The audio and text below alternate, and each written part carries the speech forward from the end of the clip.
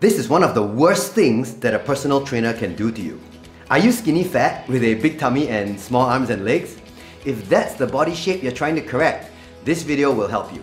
The skinny fat shape with a big tummy and skinny limbs is actually harder to work with and get good results from than the person who is fat everywhere. I sometimes tell clients who have a good sense of humor that it's such good news that you're fat everywhere. Your results are going to be great. But it's true. The person with a skinny fat shape with a big tummy and skinny limbs needs to do more things to get good results than the person who is fat everywhere. Okay, so let's talk about who gets this kind of skinny fat shape. More often than not, it's the middle-aged person. I always say that the body does not lie. Right? A client may lie to me about what time they sleep or what food they eat, but in the end, when a few weeks later we do a measurement, we're going to see if they've been really following a good, healthy lifestyle. When I say the body doesn't lie, it's not just the body shape. It's also other health indicators like how good is your sleep quality, how well are you recovering from exercise, how good is your digestion, do you poop easily every day. Things like that also, the body doesn't lie. If your health is improving, those markers should get better also. So when a person has a skinny fat shape, the body is not lying. We just need to know why they're getting this shape and so we can take steps to correct it. The scary thing is, this shape even happens to people who enjoy exercise and exercise regularly.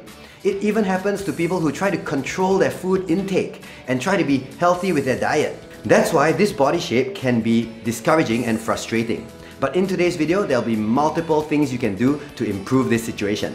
This video is brought to you by my team and I at Genesis Gym Singapore. For some of the finest personal training both online and offline that takes your holistic health into account, please check out the links below. This body shape indicates that you're probably going to have higher blood sugar levels. High blood sugar, you tend to store fat around your waist and tummy. This is of course also an indicator of pre-diabetes, higher blood pressure, higher resting heart rate, and other health indicator risks. This body shape can happen to people who don't care about health, but can even happen to people who do care about their exercise and diet. Simply put, being skinny fat is the body indicating that there is a lot of accumulated stress over time. That's why it happens more to middle-aged people, which I can totally understand, right? I am 40 years old. So we've been around a bit longer, so we have more time to accumulate stress from all over the environment. But also, one of the more disturbing trends I'm seeing is that this skinny fat shape is happening more to clients in their mid-20s or early 30s even. And that's bad because this is going to predispose them to more health problems in the future and also makes it harder for them to achieve their health and fitness goals. What I hope that you can understand is stress is multifactorial. There's no one stress source. Food that is allergenic to you is a stress. Food that maybe the restaurant didn't completely wash off all the pesticides, that small amount of toxin, an additional stress. Food that maybe has too much fiber that you can't break down properly gives you bloating and inflammation in your digestive system, makes you have constipation or diarrhea, that's an additional stress. Emotional stress from our family relationship problems, that's an additional stress. Work stress, financial stress, past emotional traumas, excessive worry, all these are stresses. You can of course add physical stresses. If you've had an infection or disease, that's a stress. If you excessively exercise and can't recover, an additional stress. If you have bad posture all the time, your muscles have to strain extra hard to keep you upright, an additional stress. If you've had surgery or you've had long-term medication use, also another source of stress. As you can see, stress comes from everywhere. And often stress can trigger weight gain and body fat problems. One of the questions I always ask clients when they come in is, when did you notice that you started to gain weight? So of course, some people gain weight slowly over time, every year one and a half or two kilos. But there's also people who suddenly gain weight. And for these people, it's very common that it happens after a stress event that triggers it. For example, a death in the family, a divorce, or maybe a sudden change of location or life situation. This kind of life event can trigger a stress response that adds on to that person's stress burden and triggers weight gain and the beginning of the skinny fat look. Now, of course, when you get a stress, the immediate stress is on the local tissue. For example, if you train too much and don't recover well, you may get a muscle tear. That's a stress on the muscle itself. If you eat food that's allergenic or toxic, you will get inflammation and stress to the digestive tract. It's very local. But if you look at it in a bigger perspective, all the stresses accumulate in the body. But if you look at it from a more whole body perspective, all these stresses add up. And the place that notices all these stresses is a part of the brain called the hippocampus. It tends to collect all the stress signals from all areas of the body mental, physical, digestion, everything. And it collects the stress signals from every part of the body. It could be the stress of an old memory, the stress of a barking dog, the stress of a bad food, the stress of a torn muscle. They all collect the stress signals at the hippocampus. And the hippocampus is part of a feedback system that only has one response to stress. The whole body, no matter where the stress comes from, one response. And that is, as many of you may have heard, the release of stress hormones. That is the only response the body has to this stress situation and stress level. It doesn't matter where the stress comes from. Stress hormones to us are good in the short run. For example, if I'm being chased by a tiger, I definitely want stress hormones. Stress hormones will push blood away from the organs into the muscles so I can run faster. Stress hormones will tense up my arteries so my blood pressure is higher and I force more blood into the muscles. But stress hormones are bad in the long run. If you're always under stress every 10 minutes at work, it means you're always having high blood pressure. It means you're always pushing blood away from your digestion into the muscles. It means you're always having an elevated heart rate. You're getting tense muscles that pull your posture and joints into bad positions. You're getting tense arteries that increase your blood pressure. You're getting poor digestion because blood is not going to the digestive system. Now back to the skinny fat, big tummy, small arms and legs problem. Stress is giving you this problem because another thing that stress hormones do is that they break down muscle and convert it into blood sugar. This is actually protective because if the body thinks it's always under stress 24 hours a day, it's actually a good idea to break down muscle because muscle uses a lot of energy. If there's not enough food, which is a signal of stress, then it's good to have less muscle. You use less energy and you're less likely to die soon. It's been well studied that high levels of stress hormones break down muscle. And more interestingly, it's been shown to break down muscle preferentially where? In the limbs, the arms and legs. This is how high stress gives you high stress hormones, which give you breakdown of muscle in your arms and legs. That's how you get the skinny arms and legs. The fat tummy happens because this breakdown of muscle converts into blood sugar, which raises your blood sugar and causes fat storage or fat retention in the waist and tummy. So this is how a person who is eating healthy, not eating too much, doing exercise, but is under too much stress can still have a big tummy and skinny arms and legs. So now this person has the worst of all worlds. They're eating a restricted amount so they're not happy because they can't eat so much, right? They're training a lot, they're spending time exercising, and yet they have the big tummy and small limbs. Now this person feels frustrated, you know, they've tried losing weight or changing their body for a few months and it's not working. So they decide to hire a professional, a personal trainer, a nutritionist or so on. And what does this personal trainer tell them? Oh, you need to join this super intense circuit training program that I have. Oh, you need to eat a low carb diet. You need to eat a low calorie diet. You need to eat more raw vegetables. You need to do intense training. You need to do HIIT cardio. I'll tell you straight up, these methods destroy people who have the stress shape, which is the big tummy, skinny arms and legs, or skinny fat. It's one of the worst things that the fitness and gym industry does to people. Now, admittedly, it will get some people fast results. These methods are very strict and very extreme, and yes, the body will respond. It works in the short term for a certain group of people. People who are younger, fitter, healthier, less stressed, and are usually genetically quite blessed. But this is not the situation with most people who want to transform their body shape or transform their health. They are older, busier, less healthy, and more stressed. You can't use the same methods for these people and have good results long term. Yes, you can use these methods to give a person a 12 week transformation. But what's important is not just the 12 week transformation. What's important is what happens after the 12 weeks. We've had many clients who we had to help recover from these intense transformations. When they go for this transformation, yes, they take nice photos, they look different after 12 weeks. But they may have sleep disturbances. They have poorer digestion. More foods seem to give them digestive problems. They might lose their menses if it's a lady. They might start losing hair, which happens to both men and women. So these clients get rebound weight gain, which is highly frustrating. And then they try the intense method again. But by this time, they're already under even more stress from the previous attempt and it works less and less and less. You yourself or your friends may have tried extreme low carb diets, a ketogenic diet for example. The first time you try, it may give you amazing results. You got increased energy. Actually, that's from the stress hormones, not because the diet is very good. You may get pretty good weight loss. But then, the second time you try it, the result is less. Many people, by the time they try third time a low calorie, low carb diet, the result is poor. Because the body says, hey, that's enough. You've tried to starve me before, I'm not going to respond because I want to stay alive. I'm going to keep that fat and I'm going to break down muscle instead. That's why in my gym, except for extreme cases where the person must lose weight, for example, uh, if they're a martial artist and they need to cut weight quickly, or if they're an actor or actress that needs to go for a photo shoot, we may use more extreme forms of uh, diet or training, but for most of the people, we don't. The reason is we want long-term health and success, not just a transformation that damages them. I know you might be thinking, but I really want fast results, I want to lose weight, I want to be skinny. Okay, I usually ask back the question when people say this in my classes or in the seminars. I say, how long do you want to live? Then of course people will answer, I want to live to you know 70, 80, 90 years old. Okay, if you want to live to 90, let's say you're 45 now. You have 45 years left.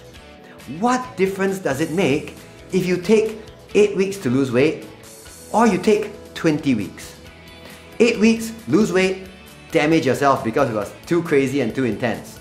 Or 24 weeks, do it nice and slow, let the body do it in a safe, natural way. For people who are not professional athletes, who are not models or actresses who need to be in a photo shoot, what difference does it make? It's not your job, so you don't need to lose weight in 8 weeks. What you want is a plan that you can keep for the next 45 years. And part of coaching, of course, is to explain this to people and why it benefits them. Once, you, once I've explained it to people, I need to help put steps in place to help them get this change and keep it for the long term. So here are 10 things you can do to change your environment, change your stress levels, and by doing that, change your body shape. First thing, very important, sleep quality. When you sleep properly, stress levels are lowered. Of course, there are multiple supplements and sleep aids and so on, but I would say that the biggest one, if you had to choose one, you just do this. It will help many people improve their sleep quality. It's super simple to do, but many people find it hard to implement, and that is to sleep and wake up at the same time.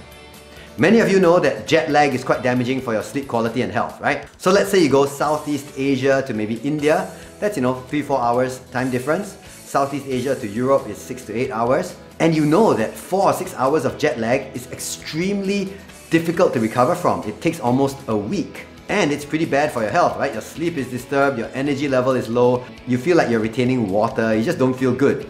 But did you know that many of you do this to yourself? One day you come back and oh, I feel a bit tired, I sleep at 10 p.m. Next day, I feel a bit more energetic, or I miss the 10 p.m. and then I don't feel sleepy again till maybe 1 or 2 a.m. So I uh, surf the internet or I watch Netflix. So this is 4 hours of difference in sleep timing. That's exactly the same as giving yourself jet lag. And of course, all the negative things that come with jet lag come with inconsistent sleep and wake up times. So do this for yourself. I guarantee you, you will have better sleep quality just by focusing on this one point. After you've done this, of course, you can add supplements or you can add, you know, blue light filters and so on. All these things are nice, but you don't get the sleep timing right, you're missing out on a big part of quality sleep. I would go so far to say as sleeping at the same time every day and waking up at the same time is more important than getting the so-called 7 or 8 hours of sleep. I would personally choose 6 hours of consistent time versus 7 or 8 hours of random times. Of course, that's not perfect, it's not ideal, but if you had to choose, the consistency is usually better for most people. So tip number one, sleep quality, start by fixing a consistent sleep time. Point number two is to do moderate exercise. Now, I know everyone says they want to do moderate exercise, but many people, when they want to lose weight or change their body, they suddenly jump into super intense exercise. They think they're gonna do these amazing workouts that are super intense, that are gonna leave them lying on the floor. Maybe they'll even puke at the end of a workout, and they're gonna post all these pictures of super cool workouts on their social media. But this is the wrong way to work out if you want to change your hormonal profile and stress levels. Such workouts are likely to be too difficult for you to recover from if you are a big tummy, skinny limbs kind of person. When you're trying to change your body from a high stress situation into a healthy situation, exercise has two main goals. The first goal is to maintain lean muscle. That means you must do strength training. But you don't need to do it until you're so sore you can't move your arms and legs for six days. That's too much. You're probably increasing your inflammation for this period of time and that's raising your stress levels overall. It's not what you want. You want moderation. So strength training with a properly designed program about three times a week for half an hour is a good start for someone trying to change their body shape. The second goal of exercise is to teach all your cells to use oxygen efficiently to produce energy. You have to understand that a healthy cell is a high energy cell. A cell that has a lot of energy because it's able to take oxygen and use it to make high levels of energy is a cell that can do its job really well. If it's a liver cell, it detoxes well. If it's a digestive cell, it absorbs nutrients well. If it's a muscle cell, it contracts well and it recovers well from training. The more efficient your cells are using oxygen, the less they will need to use the inefficient, high stress, anaerobic, which means no oxygen, energy production system. That means overall, the cells will be more efficient, less stressed, and you'll be producing less stress hormone overall. The way to do this is with aerobic training. You want to do aerobic training using only your nose to breathe. Once you use your mouth to breathe, chances are you're getting out of the aerobic training zone. Also, you want to make sure that you don't have that burning kind of sensation in your muscles when you're doing cardio or aerobic training. Once you get the burning sensation, that's the lactate building up, and that's a sign that you're also going out of the aerobic training zone. Stay in the aerobic training zone for about 20 to 30 minutes, three or four times a week, and use your nose to breathe slow and gentle. With this kind of aerobics, you'll be able to increase your cell efficiency of using oxygen and reduce the overall stress levels. So strength training, three times a week, about half an hour, don't need to go to failure and burning sensations every set. Alright? Just do a proper program and leave maybe two reps in the tank for every set. Then, for aerobic training, you do three to four times a week, gentle breathing, don't get the burning sensation in the muscles. Tip number three is to take note of the stresses that you have.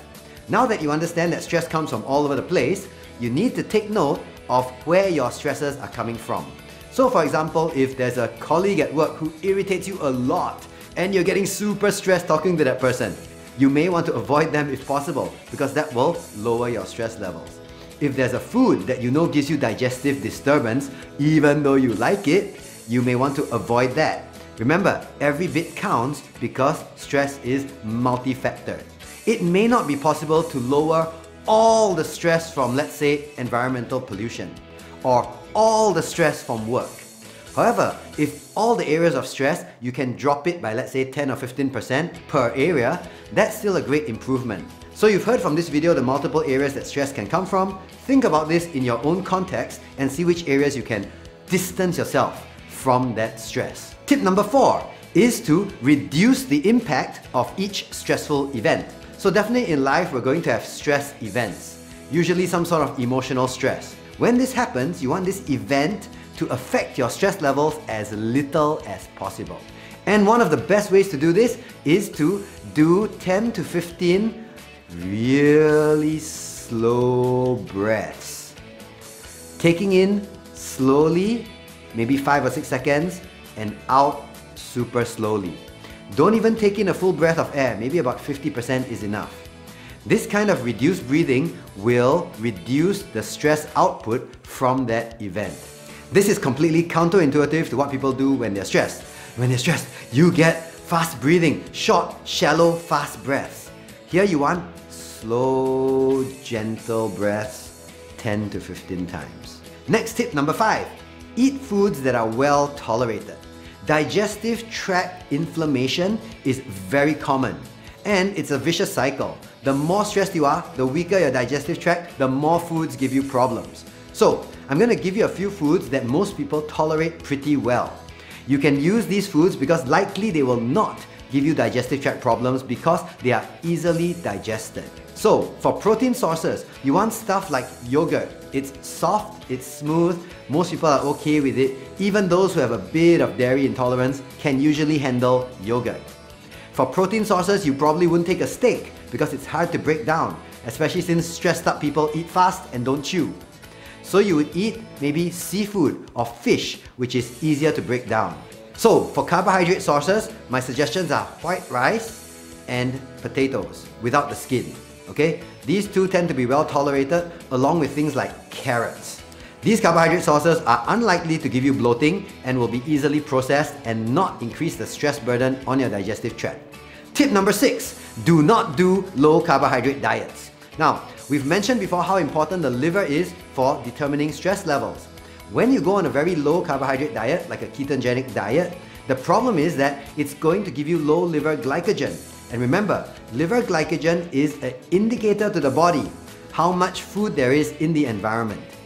If you have low liver glycogen, your body's going to say, hey, I am not going to activate my thyroid hormone because that would speed up metabolism and I'll need more food.